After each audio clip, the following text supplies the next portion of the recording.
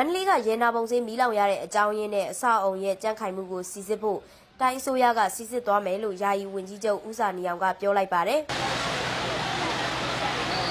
မီးလောင်မှုဟာ17နာရီနီးပါးကြာမြင့်ခဲ့ပြီးခက်ခက်ခဲခဲငြိမ်သက်ခဲ့ရကပျက်စီးဆုံးရှုံးမှုပမာဏကိုစစ်စစ်နေသေးပါ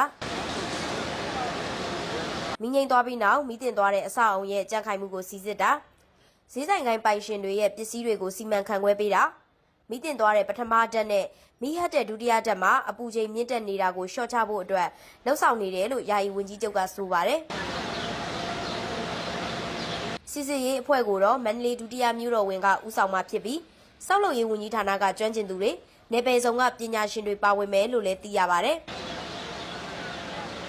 လက်ရှိမီးလောင်ကျွမ်းခဲ့တဲ့ရေဒနာပုံစည်းဟာလွန်ခဲ့တဲ့12နှစ်ကမီးလောင်ကျွမ်းခဲ့တဲ့အတွက်အသစ်ပြန်လည်တိစောက်ထားခဲ့တာဖြစ်ပါတယ်။